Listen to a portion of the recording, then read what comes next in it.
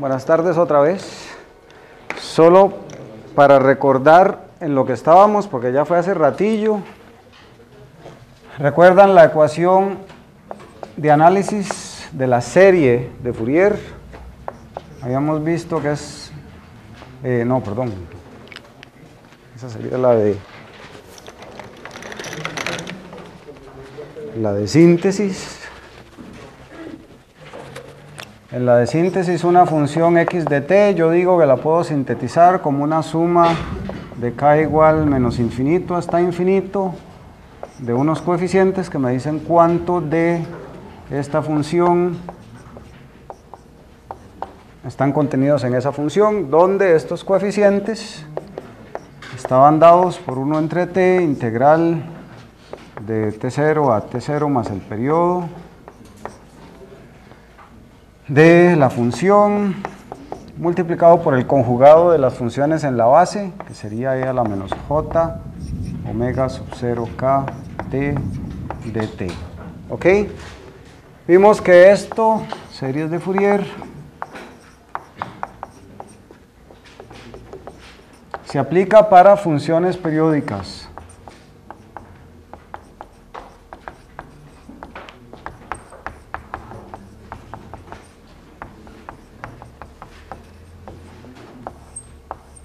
¿Ok?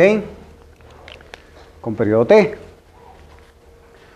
Hicimos el truco de, ok, voy a tomar una función que no es periódica y la voy a replicar periódicamente y le voy a calcular la serie de Fourier y lo que voy a hacer es separar el periodo, hacer que este t se haga infinito.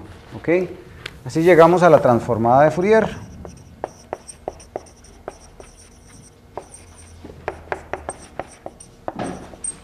Donde la ecuación de síntesis sería la transformada inversa de Fourier, o sea, x de t, esta suma va a ser una integral. Eh, aquí nos va a aparecer un 2pi que tiene que ver, bueno, con que estamos usando omega. En vez de x de t vamos a tener el espectro y en vez del omega sub 0k, frecuencia discreta, vamos a tener un omega continuo. Y por otro lado, nuestro espectro, que sería el equivalente a la ecuación de análisis, lo que tenemos es que es la integral de menos infinito hasta infinito de x de t por e a la menos j omega t de t. ¿Ok? Entonces aquí pasamos de, una representación de funciones periódicas en frecuencia discreta a una representación de funciones no periódicas en frecuencia continua. ¿Ok? Eh, bien, la clase pasada vimos propiedades, varias propiedades, de hecho un montón de propiedades. Hoy vamos a continuar con propiedades y ver varios ejemplos. Las propiedades que vimos están aquí todas resumidas. Vimos la linealidad, sea que la combinación, la suma ponderada de funciones, si se transforma, va a ser igual a la suma ponderada de las transformaciones de cada una de las funciones. Que si yo tengo una función par, su espectro se va a poder simplificar de esta forma. En vez de tener aquí la exponencial, voy a tener solo una cosenoidal. Y de hecho, si x de t es puramente real, entonces su espectro también va a ser puramente real. ¿Ok? Si es simetría impar, entonces tenemos el mismo caso, pero con puramente imaginario. ¿Ok? Si la función es real, se va a cumplir que su espectro tiene simetría hermítica. Otra vez, ¿qué significa simetría hermítica? Que la magnitud de la función compleja tiene simetría par y el ángulo simetría impar, o lo que es lo mismo, que la parte real tiene simetría par y la parte imaginaria simetría impar. ¿Ok? Eso significa simetría hermítica. Bien. Eh, el principio de dualidad lo vamos a ver hoy, se me quedó ahí escapado, pero bueno, ahorita lo vamos a ver. El desplazamiento temporal, que si yo tengo una función y la desplazo, lo que va a cambiar únicamente es la fase, y va a cambiar de una forma lineal. O sea, le voy a sumar a la fase que tenía la función original un nuevo componente que es una pendiente nada más. Si yo desplazo el espectro, en realidad le cambio la fase compleja, digamos, a, la, a la señal en el tiempo, Vimos el principio de modulación, bastante importante en comunicaciones, que es que si yo multiplico esta señal por un coseno, en realidad tomo el espectro y lo parto en dos pedazos. Uno se va a la izquierda y otro a la derecha. Em, conjugación, si yo conjugo una señal al espectro lo que pasa es se conjuga y se invierte en el tiempo. ¿ok? Si yo derivo, multiplico por j omega. Si yo integro, divido por j omega. Si yo derivo el espectro y lo multiplico por omega, es lo mismo que multiplicar en el tiempo por t. Em, bueno, y eso fue lo que vimos la clase pasada. Hoy vamos a continuar primero con el escalamiento. O sea, ¿qué pasa si yo tengo una función cuyo espectro yo conozco, digamos, la expando o la comprimo? ¿Qué le pasa al espectro? Em, entonces, digamos, aquí vamos a multiplicar por alfa. Si alfa es mayor que 1, estoy comprimiendo la señal, y si alfa es menor que 1, la estoy expandiendo. ¿ok? Entonces, tenemos que esa sería su transformada de Fourier. Aquí hago un cambio de variable, tau igual a alfa t. Al hacer este cambio de variable en la integral, aquí me queda prácticamente alfa por menos infinito y aquí alfa por infinito. Eso lo, que hay que tener mucho cuidado es que alfa por infinito va a ser dos posibles cosas. Si alfa es mayor que cero, sigue siendo infinito, pero si alfa es menor que cero es menos infinito.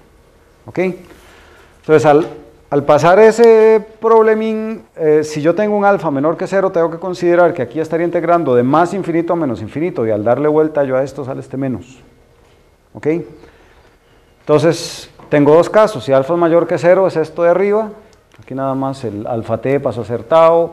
El t, si pasamos el alfa a dividir, me queda entonces eh, tau entre alfa por el omega. El d tau, ¿ok? Que es lo mismo aquí. Eh, tau es igual a alfa de t, por lo tanto este alfa que aparece aquí es ese alfa del dt. Bien, si vemos esto podemos combinarlo. Todo esto que está en la integral es idéntico, solo esta parte de aquí es la que difiere, pero si alfa es negativo, menos alfa es positivo. Entonces, el alfa aquí es positivo y aquí menos alfa también sería positivo. Lo puedo resumir como 1 valor absoluto de alfa. ¿Ok? Eh, bien. Entonces aquí tenemos ya la, la, forma general de que qué le pasa al espectro. Si yo tengo esta señal y lo multiplico por alfa, en el espectro divido por alfa. Ahí nos vuelve a aparecer el principio de incertidumbre que vimos la vez pasada. O sea, si yo empiezo a precisar, digamos, yo tengo una señal en el tiempo y la comprimo para que esté exactamente en un instante de tiempo, el espectro se va a dilatar, se va a expander. ¿ok?, haciendo difuso dónde está esa información en la frecuencia, por decirlo así. Si yo por el contrario aquí tomo la señal en el tiempo y la expando, lo que se me comprime es el espectro. ¿okay? Empieza a precisarse en el espectro donde hay algo. ¿Okay? ¿De dónde viene eso? Simplemente de que si lo vemos como senos y cosenos, esta historia, el seno y coseno viene desde menos infinito hasta más infinito. Cuando yo digo, esta señal tiene esta frecuencia, estoy hablando de una señal que abarca todo el tiempo, ¿verdad? No, sé dónde empieza ni dónde termina, de hecho está siempre. Por eso es que, existe este problema. En la tarea que están resolviendo, la virtual, de hecho esa nueva teoría de wavelets, que están usando una, versión muy simple de una wavelet, ustedes la dejar, lo que intenta la gente es buscar algo que no tenga eso, de que venga de menos infinito a más infinito. Y las funciones que ustedes tienen están ubicadas en el tiempo en algo muy particular. Pero también en ese tiempo se comprimen o se expanden, teniendo diferentes frecuencias, por decirlo así. Entonces es como una representación que, tiene tanto tiempo como frecuencia. ¿okay? Está en el, en el medio de los dos. Bien. Eh, ¿Qué podemos entonces obtener ahí? Si yo dilato en el tiempo, contraigo el espectro. Si yo contraigo el espectro, expando el espectro. Eh, si yo contraigo el tiempo, expando el espectro. Eh, también aquí viendo directamente de la fórmula esta, si alfa es menos 1, pues aquí valor absoluto de menos 1 es 1, esto no va a pasar nada y aquí me queda menos. De ahí viene entonces la propiedad de inversión. Si yo invierto una señal, también el espectro lo doy vuelta.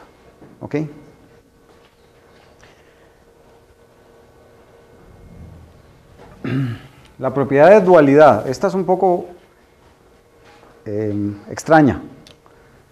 Simple de derivar, pero es extraña. Si ustedes ven estas dos ecuaciones, ¿En qué se diferencian? En principio solo en dos cosas.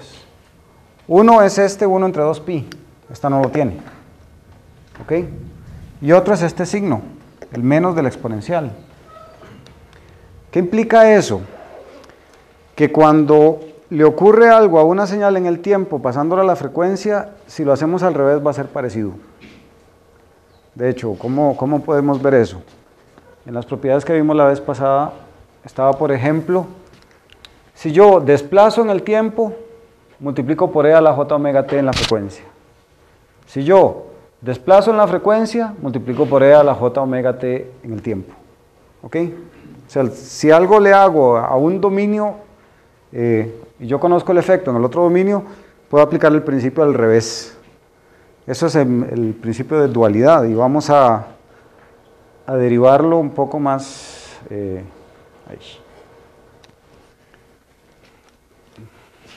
matemáticamente. ¿Cómo lo vamos a hacer? Aquí, olvídense que las cosas son tiempo y frecuencia y nada más asuman que son letras. ¿Ok? Yo puedo usar omega, pude haber usado A, B, C, cualquier, cualquier letra. Entonces tomemos la integral de, la transformada inversa de Fourier. Y nada más cambiamos la letra omega por la letra z griega. ¿Ok? Entonces, es exactamente de esa forma, bueno, pasemos el 2pi al otro lado, pero de esa integral lo único que es donde está omega voy a poner un z, o sea, es una search replace, ¿ok? Y ya está, eso no pasó nada mágico. Vamos a hacer lo mismo otra vez aquí, voy a tomar donde encuentre un t y lo voy a reemplazar por menos omega. Así, nada más busque t y ponga donde hay t un menos omega, ¿ok? Aquí lo mismo, está el t, entonces ya me queda menos omega. Así como está esto, vean que esta integral es idéntica a la transformada de Fourier. O sea, tengo una función que está en términos de la variable que, en la que estoy integrando y tengo un e a la j omega t. ¿Ok? Entonces aquí tengo una función que está multiplicando un e a la j, bueno, z omega, donde la variable de integración es este z. ¿Ok? O sea, es z ahí está reemplazando lo que en esta función es t pero es exactamente la misma integral. Entonces, ¿qué obtenemos aquí? Que esto es la transformada de Fourier de x de jz. Podemos aquí volver a cambiar de que z mejor se llame t. Entonces, la transformada de Fourier de, de un espectro donde en vez de omega usamos t es igual a 2pi. La función en el tiempo es la que ahora se convierte en el espectro. ¿Ok? Dándole vuelta. Menos omega. Entonces, si ustedes conocen algún principio del tiempo a la frecuencia y de repente se encuentran el mismo patrón, pero en, el dominio equivocado, por decirlo así, entonces ustedes pueden asumir que el comportamiento va a ser muy parecido eh, yéndome en la otra dirección. O sea, si conocen algo de tiempo a frecuencia, va a ser parecido de frecuencia a tiempo. Y vamos a aprovecharnos de eso para hacer cosas que serían complicadísimas de otra forma. ¿Cómo calcular, por ejemplo, cuál es la transformada de Fourier de la función SA? ¿Ok? Que esto de hecho es importantísimo en toda el área de procesamiento de señales y de comunicaciones. ¿Ok? Eh, después vamos a ver, pero esto, esta transformada de Fourier es la que demuestra que yo no puedo implementar filtros ideales. es nada más un concepto teórico, pero es irrealizable por los resultados de esta transformada. ¿Y qué hacemos? Bueno, nosotros habíamos visto que del tiempo eh, a la frecuencia ¿Cómo calcular la transformada de Fourier de un impulso rectangular?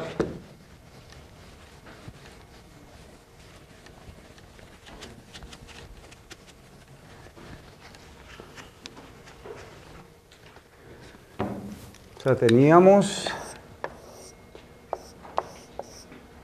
algo así, aquí teníamos t sub 0, aquí teníamos t sub 0 más tau, aquí teníamos 1 entre tau, y a esto habíamos llamado r de t. ¿Ok? Donde si quieren lo podemos representar así como R de T con parámetros T sub 0 y tau. ¿Ok? Bien, habíamos visto que la transformada de Fourier de eso, ¿qué era? De hecho tiene que estar por ahí apuntada porque yo no me la sé de memoria. Allá está. Es E a la menos J omega eh, tau sub 0 más tau medios por la función sa de omega tau medios. Bien. Vean que, bueno, esto es algo que van a tener que estar aprendiendo a, descifrar. El U de t menos t sub 0. ¿Cómo se ve?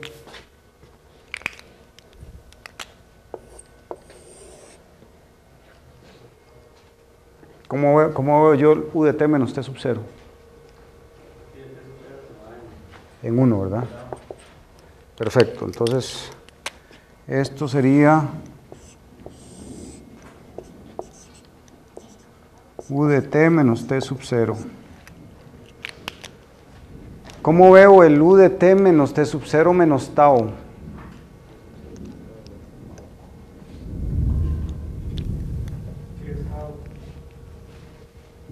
Valor. Exacto, aquí en... Ay, ese no era el que quería. Uno de estos es azul.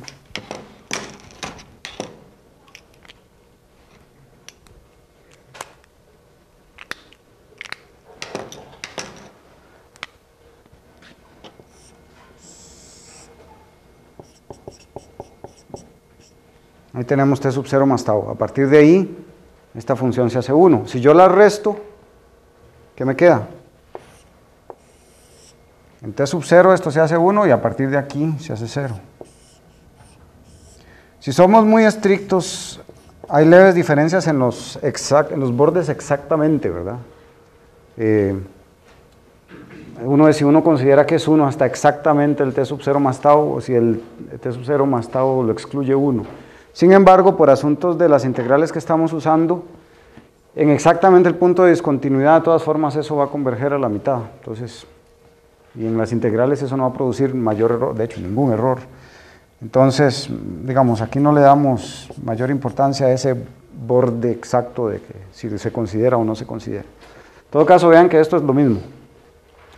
Este tipo de expresiones las vamos a estar usando mucho. O sea, van a haber cosas y ustedes van a tener que poder expresarlas en términos de, de usos, eh, UDTs, desplazados, invertidos y todo ese tipo de cosas.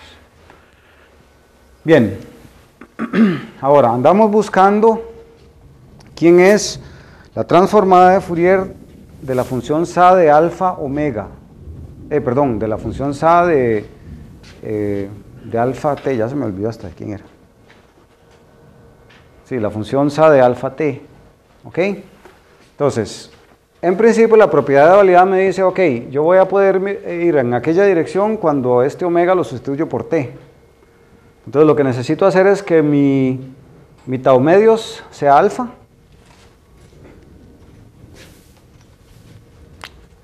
Esto necesito que sea alfa para que se parezca a la expresión que tengo, el omega lo voy a cambiar a t, y esto necesito que se desaparezca. ¿Cómo hago desaparecer eso?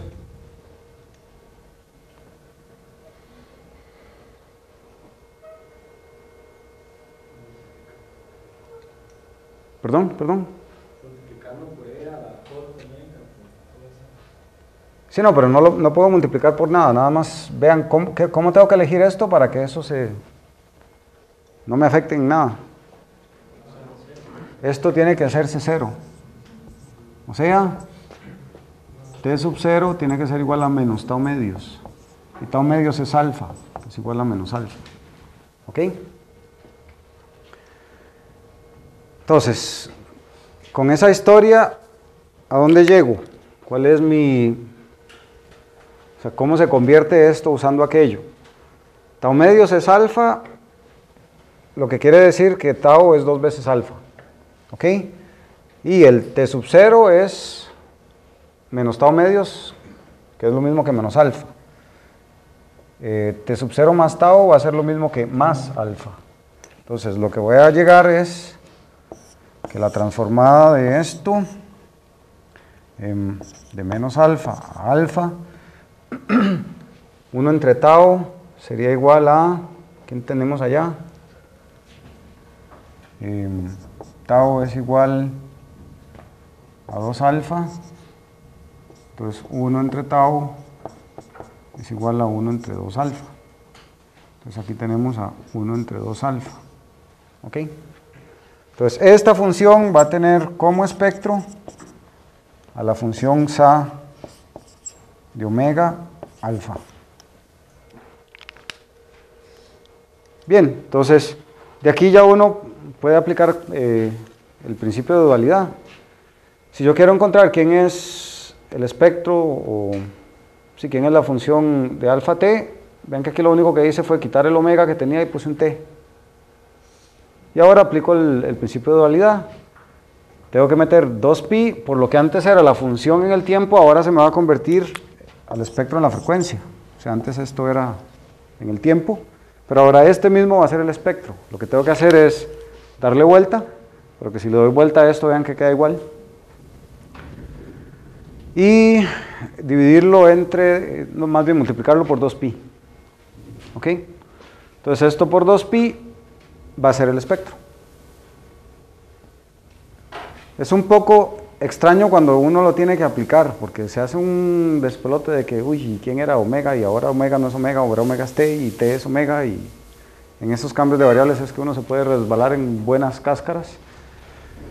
Pero es bastante útil este principio porque uno dice, ah, mira, yo esto yo lo he visto, pero más bien en el otro dominio, entonces tengo que volverlo. Un día de estos, en una tesis de licenciatura, tuvimos ese problema. Teníamos que encontrarla al revés, teníamos la, en el tiempo una función que sabíamos, porque lo teníamos la tabla ahí, que eso era el espectro de algo que ahora andábamos buscando quién es el espectro. Entonces, principio de dualidad y ahí nos, nos salvó la tanda. Eh, bien, ¿Todos claros con el principio de dualidad? Eso debería ponerles algún ejercicio en una tarea porque no es, es fácil, pero hay que saber cómo usarlo. Bien, uno de los principios más importantes para comunicaciones y para potencia, la, la relación de Parseval. ¿Cómo se comportan las energías en ambos dominios? ¿Están relacionadas? ¿No están relacionadas? Entonces vamos a ver eso. Energía para nosotros, ya lo hemos visto, va a ser simplemente la integral de la potencia. Y potencia lo estamos viendo como magnitud de una función al cuadrado. ¿Por qué? Porque cuando nosotros tenemos un circuito con una resistencia, la potencia va a estar siempre dada por una constante que va a ser R o 1 entre R, dependiendo de si estamos con tensiones o corrientes, multiplicado por la corriente al cuadrado o el voltaje al cuadrado. ¿Ok? Entonces, ese concepto de que tenemos o corriente al cuadrado o voltaje al cuadrado es lo que vamos a concebir a partir de ahora potencia. Tengo una función, aunque no tenga unidades, el cuadrado de eso lo vamos a llamar potencia de esa señal. Y la integral de la potencia es la energía. Entonces podemos decir que la energía de esta señal x de t va a estar dada por la magnitud de esa señal al cuadrado y la integral de eso. Esto es lo mismo que, o sea, magnitud al cuadrado es lo mismo que x de t por x conjugado de t. x conjugado de t es lo mismo que todo eso que está ahí, o sea, usando la transformada inversa. Eh, invirtiendo el orden de integración, o sea, sacando eso, metiendo esto, para que me quede el de omega afuera y el de t adentro llegamos a esta expresión de acá, donde em, vean que esta ecuación que está aquí es exactamente ¿qué? La transformada de Fourier. Así es como se define. ¿Ok? Entonces aquí llegamos a que es el espectro conjugado por el espectro. Esto es lo mismo que la magnitud del espectro al cuadrado. ¿Ok? Entonces interesante. Magnitud de la señal del tiempo al cuadrado, todo el área bajo la curva es lo mismo que magnitud del espectro al cuadrado, todo el área dividido entre 2pi. Otra vez, cuando ustedes lleguen a comunicaciones no van a usar frecuencia angular, sino la frecuencia normal, hertziana, en hertz. Cuando hagan ahí el cambio de variable, este 2pi se desaparece. Entonces queda todavía más directo. Si ustedes usan esta frecuencia en hertz, queda que la integral en el tiempo de magnitud al cuadrado es exactamente que la integral en la frecuencia de magnitud al cuadrado. ¿Ok? Y es donde se habla de energías. ¿Ok? De hecho, aquí se habla de que esto, magnitud de x de t, es la densidad espectral de energía. ¿Por qué densidad? Porque si ustedes quieren calcular cuánta energía tengo en tal pedazo de la frecuencia, integran ahí. O sea, como cualquier densidad, ¿no? ¿Estamos claros con eso? Como les digo, esto en comunicaciones es comida todos los días. Y en partes de potencia también. Entonces, la energía otra vez la podemos calcular, ya sea en el tiempo como en la frecuencia. ¿Ok?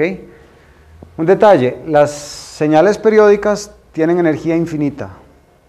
¿Ok? Si ustedes le sacan el valor absoluto al seno y le calculan el área a la magnitud del seno al cuadrado, están sumando un pedazo siempre y eso les va a dar infinito. Entonces, eso para cualquier señal periódica se va a aplicar. Tienen energía infinita. Sin embargo, su potencia promedio es finita. ¿Ok?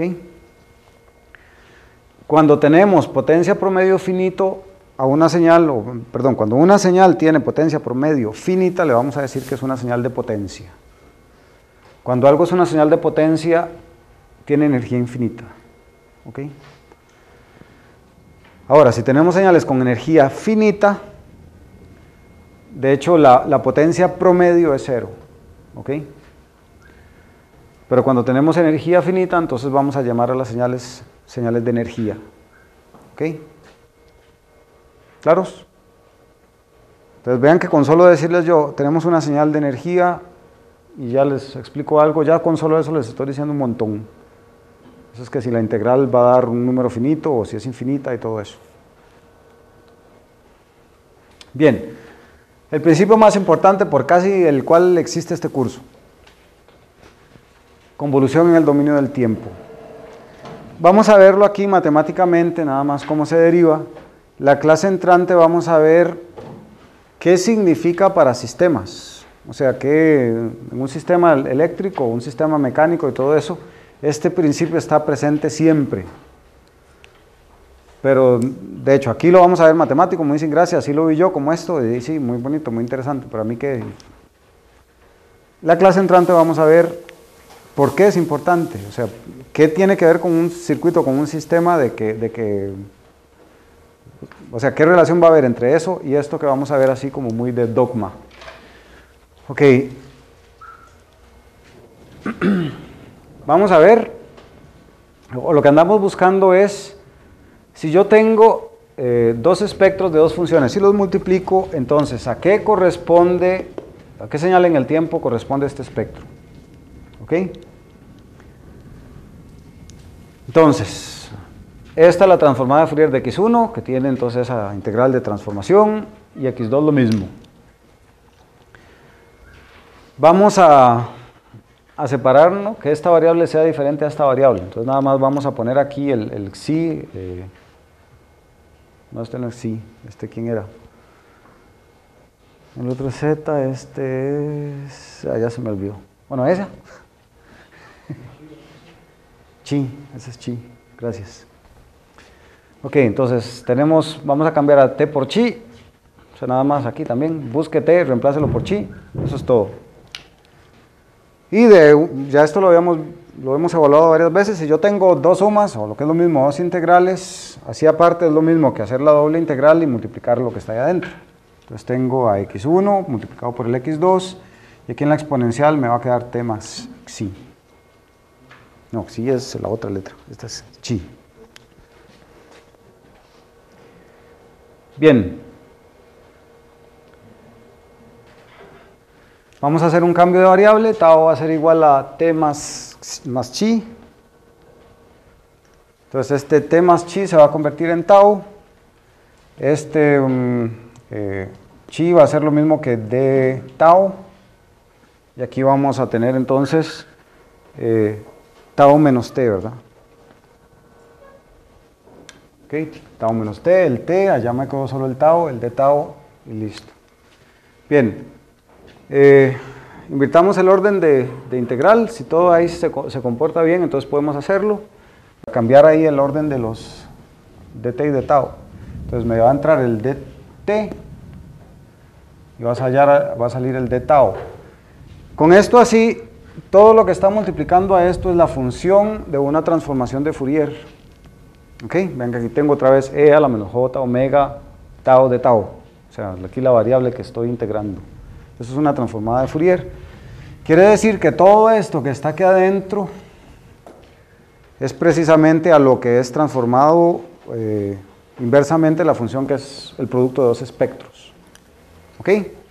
Esta integral enorme que está aquí es lo que, lo que se llama la convolución de x1 con x2. ¿Ok? Y otra vez, ¿qué importancia tiene esta integral para sistemas reales? Es lo que vemos la próxima clase con lujo de detalles, con bastantes applets y todo para entender qué significa esto. Así rapidillo, esto lo podemos ver como en cuatro pasos. Yo tengo una señal en el tiempo, o sea que es tiempo infinito. A esa señal la voy a multiplicar por esta otra, que vean que aquí hay menos t. Entonces le estoy dando vuelta a esa señal, le estoy sumando un tau, lo estoy poniendo en una posición particular, estoy multiplicando las dos y calculando el área bajo la curva. Y todo eso me está dando el valor en un único instante tau. ¿Ok? Entonces vean que es complicado. Una señal entera de menos infinito a infinito, tengo la otra, le doy vuelta, la pongo en algún lugar, calculo toda la integral y eso me da el valor en una posición. Entonces, la posición resultante está pasando por un proceso relativamente complejo. Y ese proceso relativamente complejo se aplica para todos los sistemas lineales. ¿Ok? Que es lo que vamos a ver con lujo de detalle en la próxima clase. Bien, entonces, si yo multiplico dos espectros, eh, en el tiempo lo que estoy haciendo es convolucionando. Por el principio de dualidad, ¿qué pasa si yo multiplico dos señales en el tiempo? Sus, espectros se convolucionan. ¿Ok? Entonces, multiplico dos señales en el tiempo, quiere decir que sus espectros se van a convolucionar. ¿Ok? Por principio de dualidad podemos demostrar de dónde sale este 2pi. ¿Ok? Bien, entonces aquí ya está ahora sí la lista completa de propiedades. Esto es una tabla que está ahí, pero la tabla solilla no les va a ayudar de nada y si ustedes saben que existe la tabla tampoco les ayuda de nada. Ustedes tienen que sentarse ahora a calcular cientos de transformadas de Fourier para saber cómo usar esto. O sea, rara vez uno usa la integral porque es muy complicado. Bueno, no complicado, sino engorroso. Eh, entonces, la idea siempre es, ok, tengo que hacer esta transformada, ¿cómo puedo usar un par de transformadas que tengo en una tabla y las propiedades para llegar a la nueva transformada? De eso se trata prácticamente hacer transformadas de Fourier. Y como les digo, en el Oppenheim hay cientos de ejercicios. Ahí hay un par, pero les recomiendo que agarren el Oppenheim porque los lleva paso a paso a, ya ser buenos en calculando transformadas de Fourier. Ok. Ya la propiedad de integración la, habíamos demostrado, pero entonces demostrémosla ahora a través de las propiedades de convolución y de transformada de Fourier del escalón unitario. ¿ok? Nosotros calculamos la transformada de Fourier del escalón a través de un montón de pasos, si recuerdan. Que primero lo intentamos y nos salió un exponente que no nos servía, resulta que el escalón no cumple Dirichlet, entonces ahí se, ¿qué es? Ahí justificamos por qué no puede uno usar la integral de definición, pero después encontramos que con la exponencial, haciendo tender eh, la decadencia del exponencial a cero, llegábamos al escalón y ahí llegamos a algo que podía ser, que era 1 entre j omega, pero 1 entre j omega solillo, cuando le aplicamos la inversa, llegamos a que era la función signo, que le falta el offset, y después llegamos cuando vimos componentes espectrales puras, que si lo ponemos en cero, la componente espectral pura nos suma un nivel de C, entonces a la función signo le sumamos el nivel de C y llegamos al escalón, toda la historia. Entonces el escalón lo conocemos. ¿De qué nos sirve eso de la historia de lo que andamos buscando es el principio de integración? Pero entonces, ¿de qué me sirve eso? Veamos esto. Si yo convoluciono una función con el escalón, copio así la, la definición de convolución, va a ser la integral de la primera función, así como está, bueno, le cambio la variable de integración, eh, multiplicada por la segunda variable, donde la variable de integración la invierto y lo pongo el tiempo, el instante de tiempo que quiero calcular. O sea, que estoy calculándolo para un t particular, ese es este t que está ahí. Bien, ¿cómo se ve u de t menos tau, donde la variable es tau?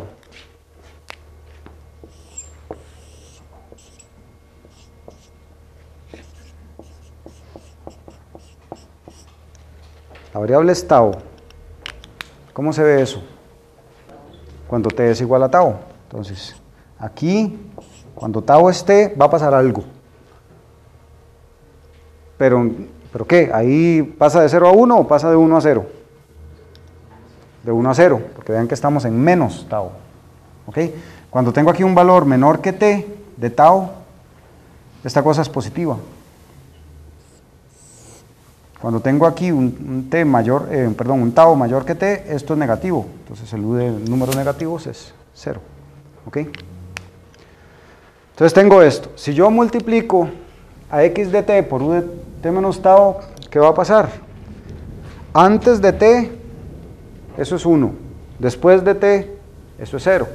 Entonces, ¿qué va a pasar? Llego hasta t. Antes de t era 1. Después de t es 0.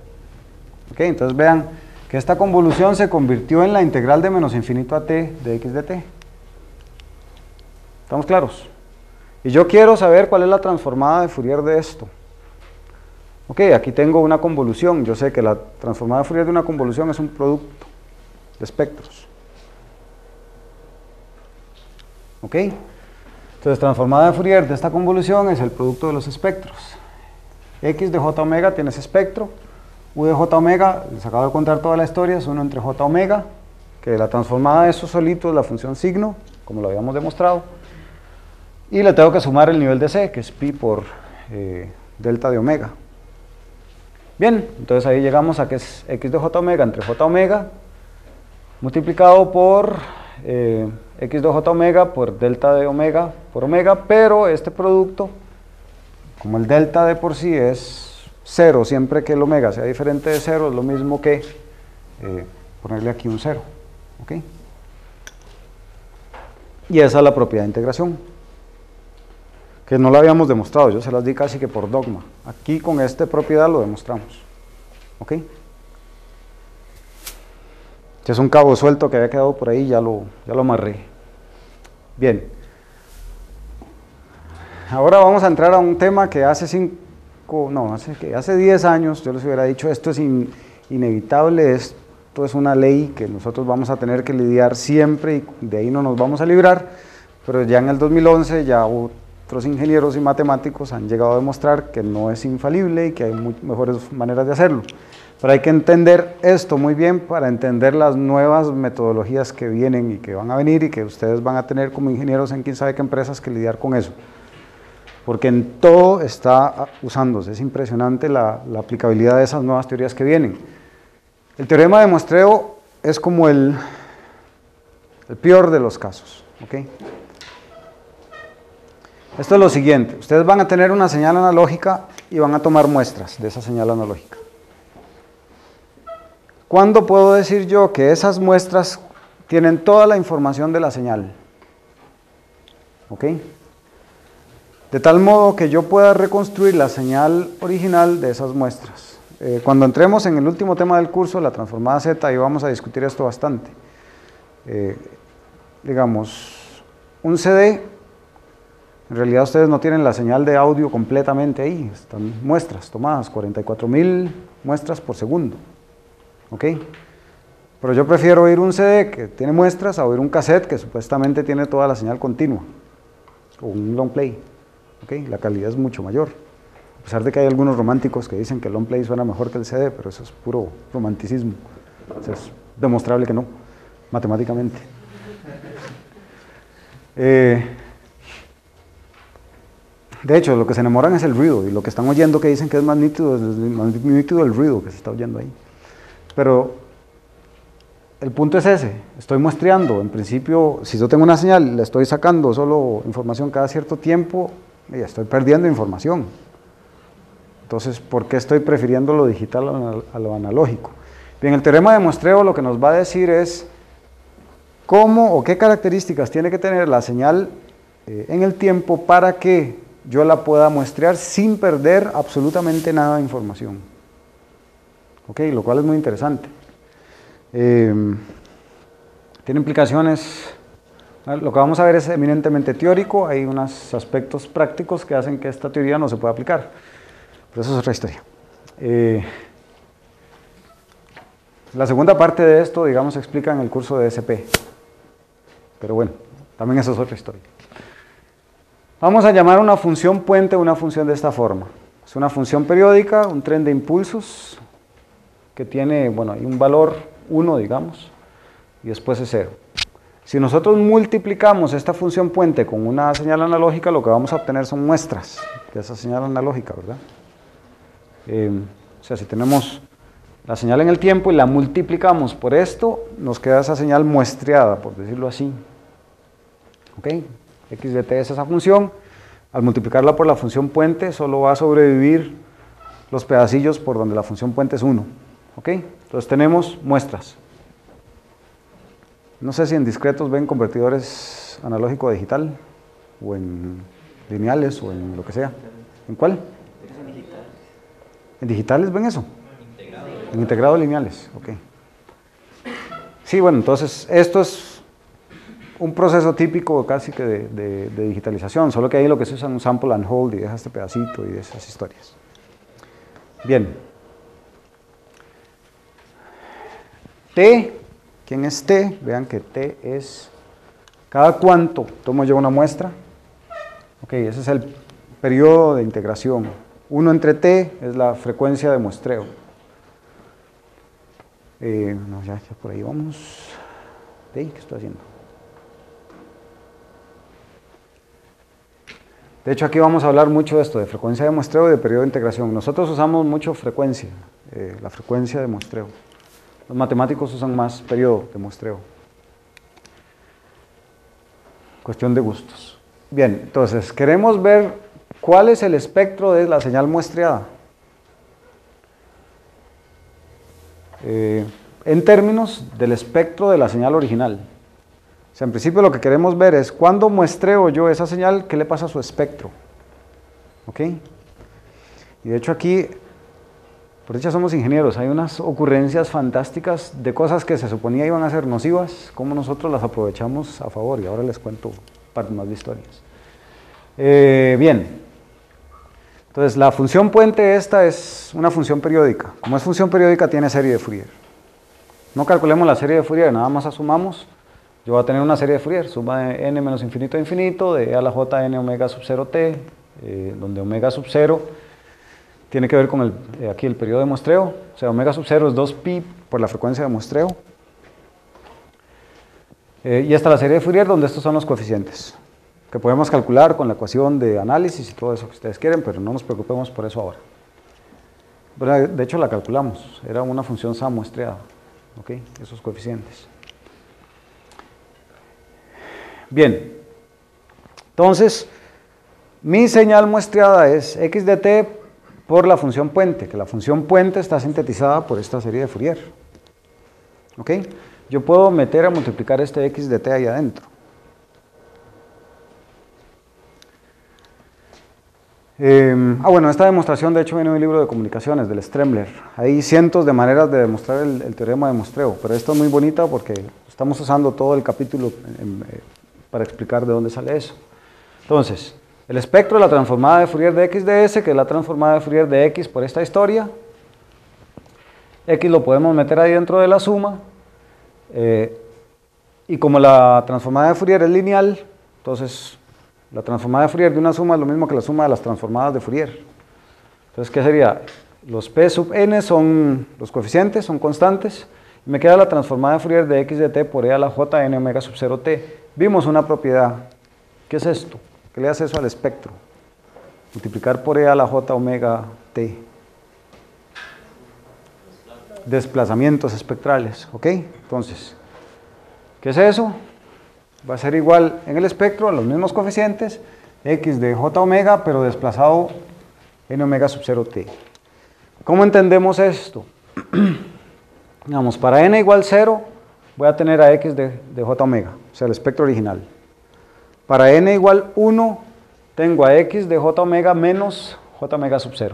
Lo que es mismo j de, abro paréntesis, omega menos omega sub 0, cierro paréntesis. O sea, tengo, si el espectro original es así, entonces, para n igual 1 voy a tener el espectro por ahí, multiplicado por p sub 1, ¿ok? Donde esto aquí sería omega sub 0, para n igual 2 voy a tenerlo aquí, donde esto es 2 omega sub 0, etcétera, etcétera.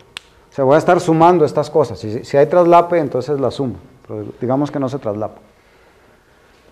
Em, bueno, expresado de esta forma, es toda la suma de todos los términos, exceptuando el cero. Aquí está el espectro original, multiplicado por el P sub 0.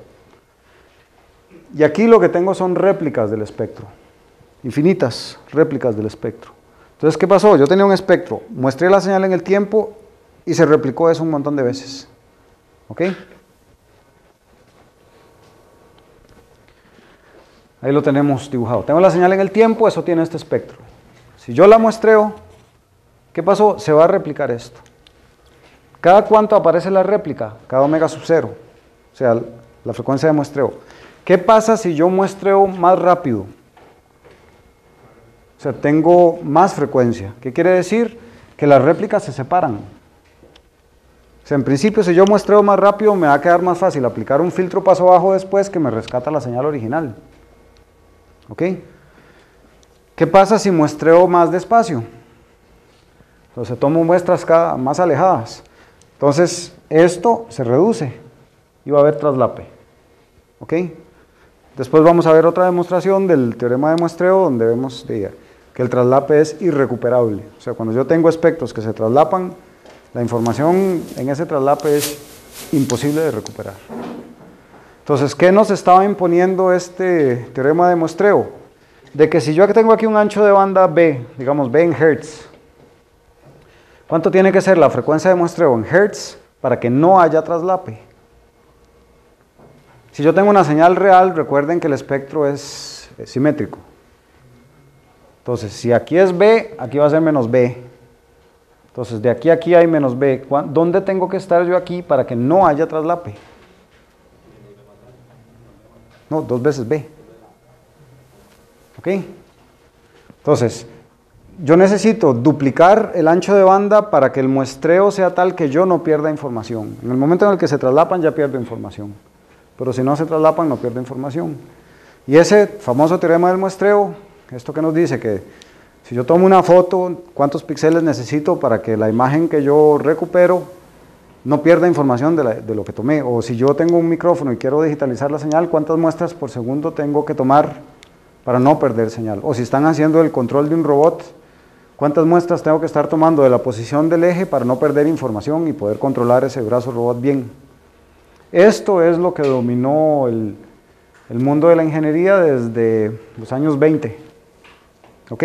Yo tengo que tomar un número de muestras al menos el doble del ancho de banda de la señal. ¿Y qué es el ancho de banda, digamos, del vaso del robot? Yo tengo ahí el comportamiento inercial del robot, eso tiene una transformada de Fourier y esa transformada de Fourier me está diciendo, llega como hasta aquí más o menos la, el espectro, entonces de ahí el doble tengo que muestrear. ¿Okay? Importantísimo en laboratorio de control, digamos, que empieza la pregunta, bueno, ¿y cuánto tengo que muestrear? Si toman muchas muestras, muchas, digamos, 10 veces B, y están perdiendo más bien, están exigiendo mucho a un procesador que está trabajando ahí, porque tiene menos tiempo por muestra para calcular y tiene que calcular un montón de cosas más, que a lo mejor no son necesarias. Entonces hay que saber muy bien, ok, mi ancho de banda es tal, dos veces eso, y con eso muestreo. La revolución que vino es que hay, el comportamiento del mundo real está caracterizado por que se llaman funciones dispersas. Bueno, sparse functions, sí, dispersas, digamos. Y con ese requisito, en realidad esto no es necesario, porque podemos representar las funciones de, otras formas, que entonces podemos obviar esto y, aunque se recontratraslapen los espectros, podemos recuperar la información original. Y eso es interesantísimo, es una matemática bárbara, pero que está revolucionando absolutamente todo.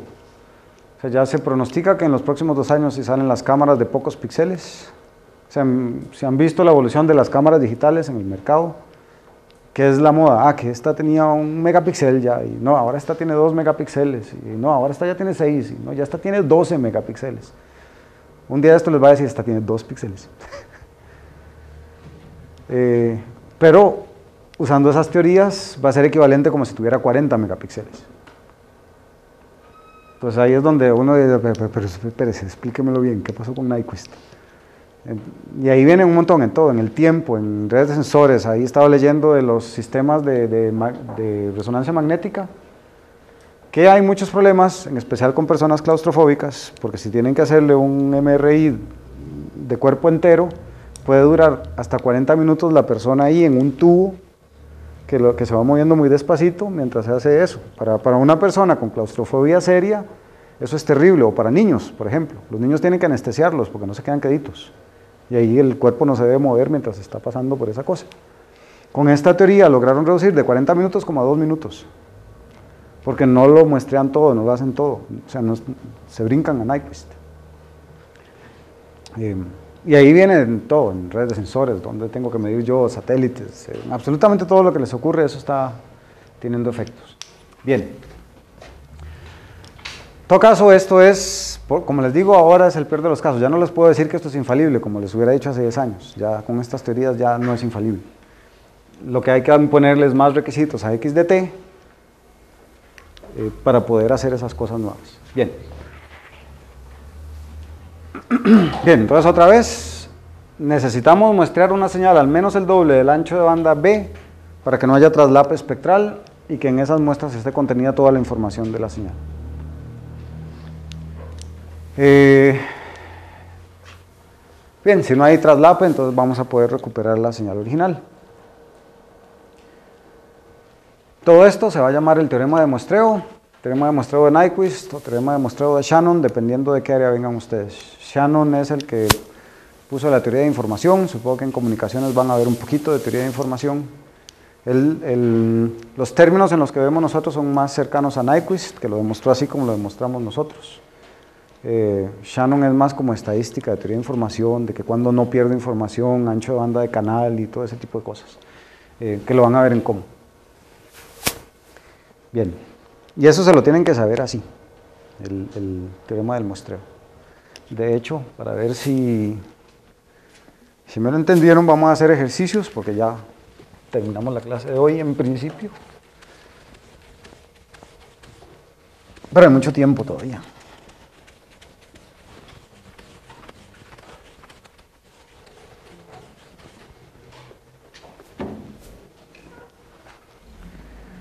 Aquí yo traía apuntados qué ejercicios quería hacer.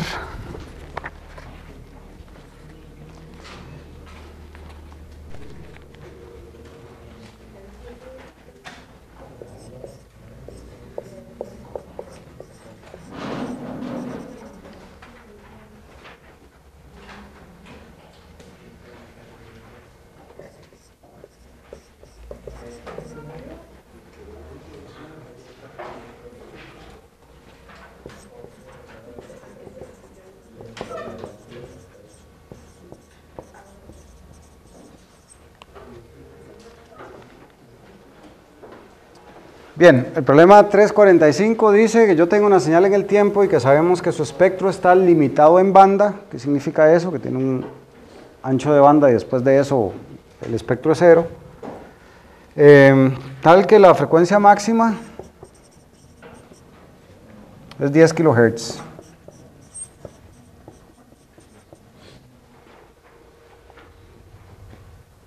Entonces, ¿cuál es la frecuencia mínima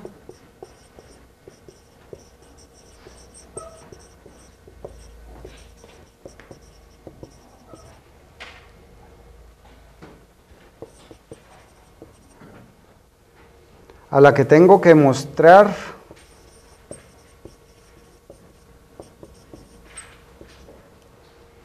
eh. Bueno, aquí todavía dice para que no haya pérdida de información, digámosle mejor, para que no haya traslape espectral.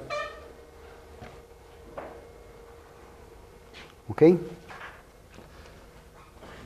O sea, ¿qué significa eso? Que las, nosotros tomamos muestras x de n que son XADN entre FS. ¿Ok? Entonces, aquí estamos tomando las muestras. Uno entre FS es el periodo, o sea, cada NT. DT es el periodo de muestreo. ¿Ok? Entonces, con lo que acabamos de ver, ¿cómo hacemos esto? El espectro me están diciendo que aquí yo llego a 10 kHz es una señal real, yo sé que su espectro en magnitud va a ser par, ¿ok?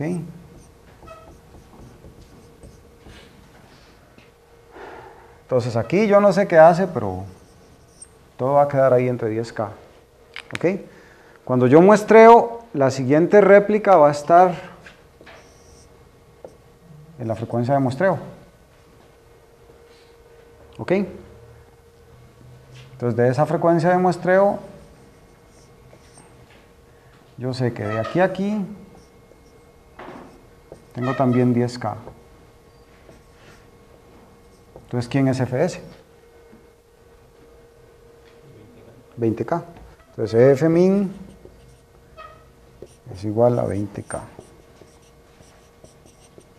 De ahí para arriba puedo muestrear, porque lo único que haría es me separa estas réplicas.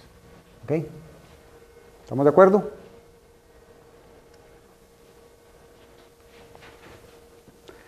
Hay lo que hay que tener mucho cuidado con la redacción porque a veces se da vuelta y eh, el error típico es que en vez de decir que es 20K, dicen que es 5K. ¿Saben que hay que dividir o multiplicar por 12? Hay que saber qué es lo que está pasando. Si dicen 5K y tenemos un recontratraslape y no es rescatable, pero ni, ni de qué tipo de señal se trataba. ¿Estamos claros? El, primero, bueno, eso es lo que se llama una señal en banda base. ¿okay? Le están diciendo, es un espectro limitado en banda. ¿Cuál era la reacción? Ya se me olvidó. Eh, una señal real, analógica, tiene un espectro limitado en banda. ¿okay? Un espectro limitado en banda significa eso. Va a llegar una frecuencia a partir de la cual es cero. ¿okay? Y le dicen, tiene un espectro limitado en banda cuya frecuencia máxima se sabe es 10K. ¿Ok? Entonces aquí sabemos que esto es 10K y como es una señal real, el espectro es, eh, tiene simetría hermítica. ¿Ok?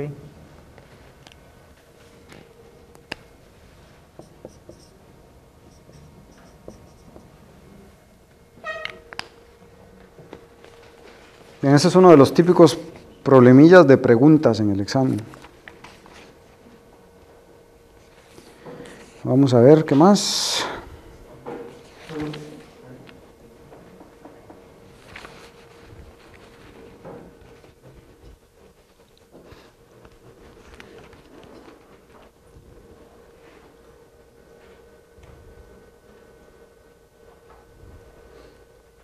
Ok, eso está bonito. Eh, ah, bueno, algo que les iba a contar, que se me olvidó. En comunicaciones, esto es una cuestión vacilona. Em, vamos a ver cómo lo grafico, porque es complicadillo, pero me interesa que, que les quede el concepto por ahí. Vamos a ver, ¿qué es lo que hace el muestreo? Toma el espectro de la señal y lo replica. ¿Ok? Todos estamos claros con eso. Entonces, si yo tengo este espectro y les digo, tengo esta frecuencia de muestreo, pues, ¿qué va a pasar? Ese espectro se va a replicar. Bueno, de hecho vimos, si uso la, la función puente, entonces se va a replicar, pero cada uno de estos va a estar escalado por los coeficientes de la serie de Fourier de esa función puente entonces aquí en 2fs tengo esto. Bien. En integrados lineales seguro vieron que hay bastantes limitaciones, qué tan rápido puedo hacer yo un circuito eh, que muestre la señal. O sea, ahora casi que tienen integrados que llegan hasta un gigahertz, pero son casi que de laboratorio y cuestan miles de dólares para llegar a esas frecuencias. Ok, el celular de ustedes funciona digitalmente. ¿Cómo creen que un, celular, que los, bueno, ahí pueden ver dónde están las frecuencias de, transmisión de un celular, cómo muestre a uno eso? A esas frecuencias tan altísimas para poder demodular y hacer todas las loqueras y poder rescatar la señal. el principio que está ahí es muy interesante, es, ok, digamos yo tengo esta señal, es el espectro donde está la, señal del celular, ok, entonces por ahí anda ahí la frecuencia que quiero. Si yo submuestreo, o sea, según Nyquist, yo tengo que irme a esta frecuencia máxima y para no perder información, esta la duplico y ahí me daría mi frecuencia de muestreo para que no se me, eh, para que no hayan traslapes. ¿Ok? Pero, ¿qué tal si yo no muestreo a esta frecuencia, sino que muestreo a una frecuencia de muestreo que ande por aquí? Entonces, ¿qué va a pasar? Yo tengo este espectro así todo partido y la primera réplica, ¿dónde pasaría con eso? De si está por ahí, estará por acá. La cuarta va a estar por aquí. Bueno, la tercera, etcétera, etcétera. O sea, ahí hay unos principios que me relacionan más bien no, no la frecuencia máxima, sino el ancho de banda de la señal que me interesa. Entonces yo muestreo a una frecuencia que sí es menor, pero me aparecen, por la matemática me aparecen unas réplicas espectrales. Hay unas réplicas espectrales que me van a salir por aquí abajo. Entonces yo tengo una frecuencia muy arriba y con muestrearla me salen réplicas espectrales abajo. Y esas réplicas espectrales abajo si tengo eh, maneras de rescatarlas. Y trabajar ahí feliz de la vida. Entonces, submuestreando algo que está arribísima, eh, me lo traigo para abajo y ahí puedo trabajarlo. Este tipo de principio es un poco más complicado que lo, que les estoy poniendo aquí. Ese, ese submuestreo hay que representarlo bien matemáticamente. Si les interesa el tema, también en DSP vemos un poco de esta historia. Em, pero es muy interesante, o sea, cómo, cómo, usar algo que en realidad es nocivo, todas esas réplicas que nos estorban porque puede haber traslape y se pierde la información y todas esas historias, pero cómo entonces más bien podemos usar que cuando muestreo me aparecen réplicas abajo y entonces más bien aprovecho que las réplicas están ahí abajo donde tengo tecnología para poder manejarlas. ¿ok? Eso es muy interesante. Bien, otro problema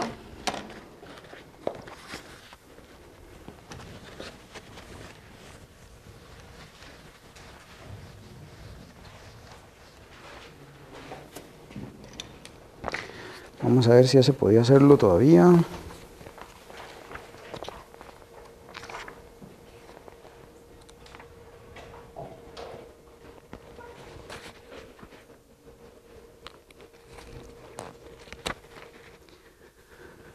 Vamos a ver.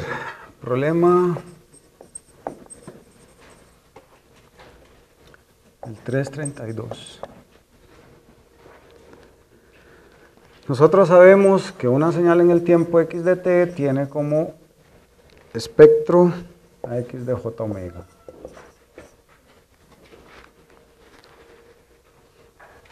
¿Qué espectro tiene una señal x de dt que está por x de t más t0 más menos x de t menos t0?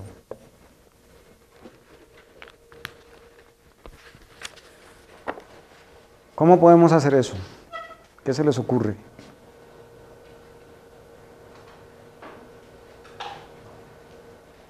Ahí tenemos todas las posibles propiedades.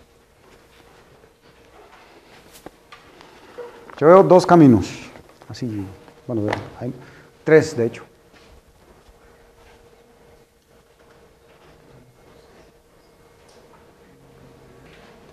El primero es el obvio, calculamos la integral de menos infinito a infinito de todo eso multiplicado por e a la j omega, eh, e a la menos j omega sub 0, eh, e a la menos j omega t de t. O sea, aplicar la definición de la transformada y, empezamos a trabajar desde ahí. Exacto. Ese es un camino, o sea, aquí tenemos que esto es desplazado, entonces nos vamos y usamos esta propiedad nos va a quedar dos términos, nos van a quedar dos exponenciales por ahí, eh, que se van a hacer un coseno o un seno, dependiendo de los signos que nos queden por ahí.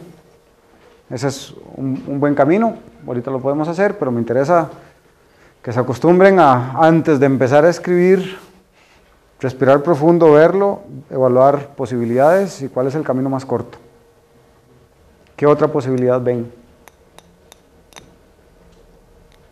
Ya la más corta, de hecho.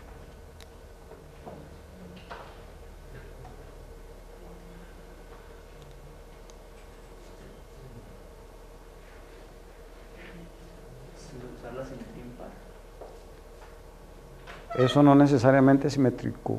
Bueno, sí, sí, sí es simétrico. Más o menos. Sí, linealidad va a ser parte de. Pero no se les ocurre usar modulación y dualidad. No se les ocurre usar modulación y dualidad. Vean que esta forma es exactamente la forma que tenemos ahí. O sea, imagínense que en vez de j omega le ponemos t y en vez de j omega sub 0 le ponemos t sub 0. Entonces ya tenemos ese, este lado. O sea, nos podemos pasar de aquí para acá. De una vez. ¿Ok? ¿Cuál quieren que hagamos? ¿Por, e, por ese camino o por el de desplazamientos y, o los dos? Modulación. Ok. Entonces vamos a ver qué nos dice el principio de dualidad. Que x de j omega t, o sea, aquí nada más poniéndole un t, eh, por dualidad,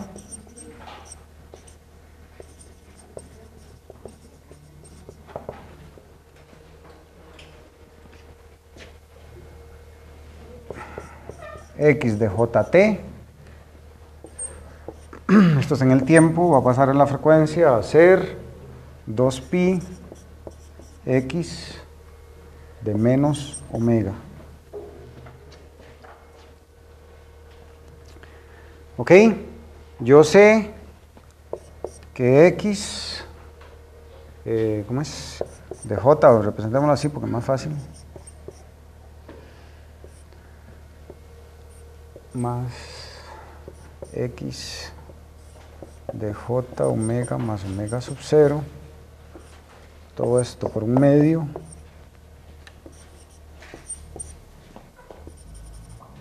Es lo mismo que coseno de omega sub 0 t x de t. Entonces usando esto y usando. Un cambio de esos de search replace, o sea, search, omega sub 0, replace de sub 0. Entonces, aquí que vamos a tener que un medio de x eh, Vamos a ver que me, me perdí. X de JT.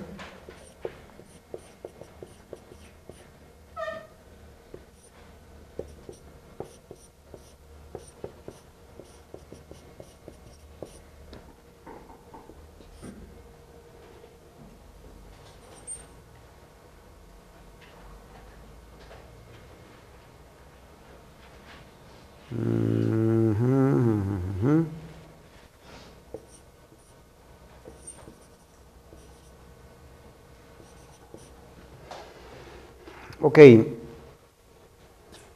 ¿Quién era mi X en esta historia? ¿Es esto? Pero tengo, no. ya me enredé yo. vamos a ver, vamos a ver, vamos a ver. Estamos aquí. Esto es el que se va a convertir. O sea, este es el que tenemos en omega, pero tengo que volverme. Entonces, coseno. ¿De quién? Habíamos dicho que este va a ser T sub 0, el T pasa a ser omega, de hecho pasa a ser menos omega, pero el coseno es par, entonces no tenemos problemas.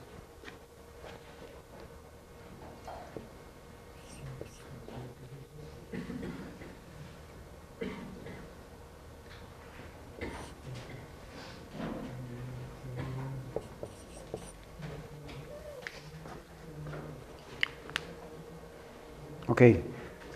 El último paso que tenemos que hacer, bueno, es usar la nomenclatura que sí es. Aquí mi X no era X, sino el X minúscula y el otro es el X mayúscula. Aquí el J es porque aquí teníamos espectral, pero en realidad aquí lo tenemos de esta forma. ¿Ok?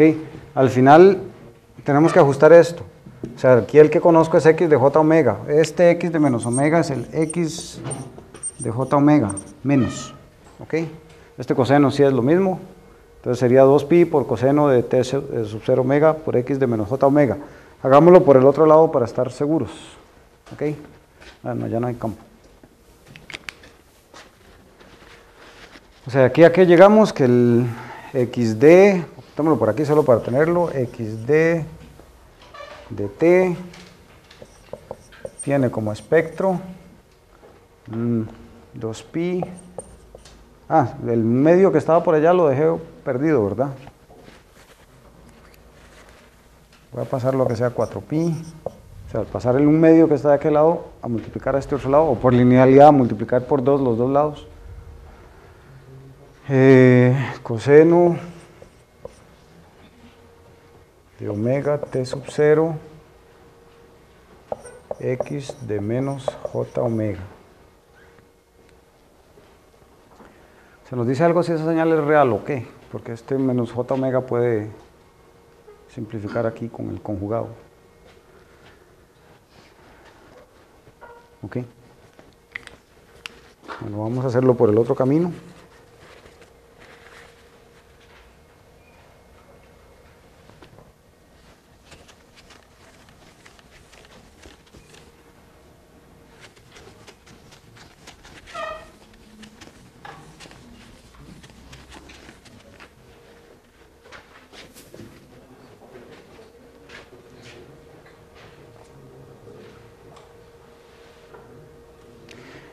Me quedé pensando con lo que usted me dijo, eh, de, que de que esto era simétrico.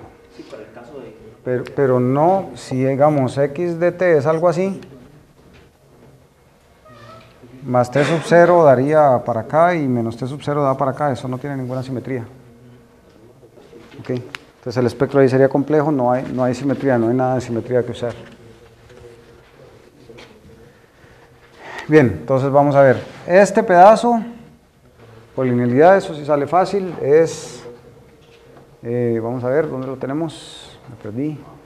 Vamos a apuntarlo aquí para que no se me pierda, x de t menos tau. bueno, es igual no. Se transforma en e a la menos j omega tau, x de j omega. Me preocupa que aquel x de menos j omega no me va a salir, pero vamos a ver qué sale. Esto sería e a la, e a la más j omega t0 x de j omega más menos. Ah mira. Bueno eso que hicimos allá se funciona para el más para el menos no más menos e a la menos j omega t sub 0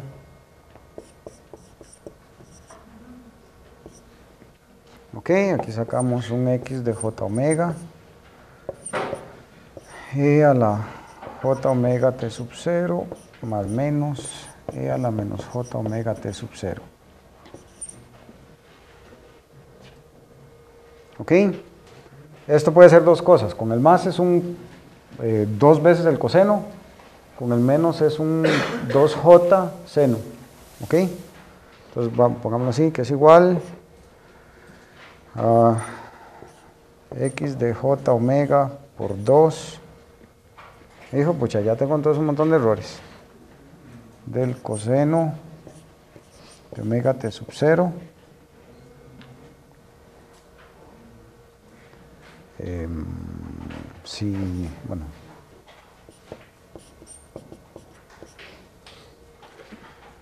O 2j x de j omega por el seno de omega t sub 0.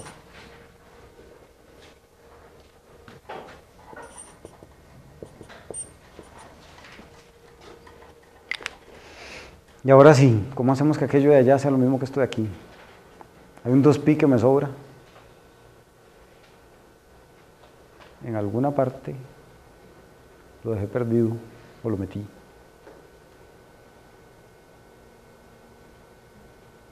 Hmm. En las sustituciones que hice hubo algo mal. Lo más probable es que sea ahí a la hora de haber pasado el T sub 0 aquí. Hay que ponerle mucha cabeza a eso. Sí se puede usar dualidad, pero hay que, Hay que ver dónde metí las patas. A sentarme a hacerlo para, para decírselo la vez pasada. En este confío más porque es más directo, digamos.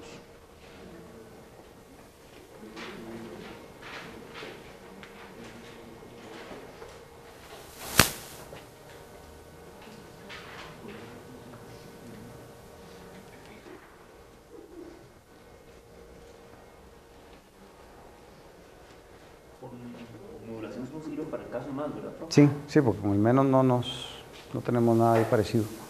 Pero hay que ver de hecho ese dos, ese dos pin, no sé, tengo que analizar dónde, qué lo hice.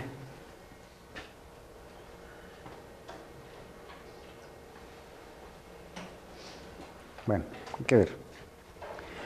¿Estamos claros?